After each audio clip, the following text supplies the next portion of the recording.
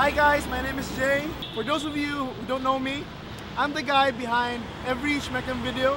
Uh, I just want to take this opportunity to thank everyone for the support. Uh, 2014 was a really great time for us. Um, we had tons of videos, tons of really cool, fun videos. The support was awesome.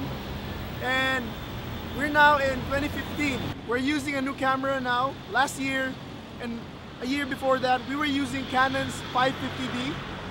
And then this year, we have a new camera from the guys at 36O Media who hooked us up with a Blackmagic Pocket Cinema camera. We're gonna test this camera right now to see if we're gonna get some really awesome quality videos for you guys. Let's try it.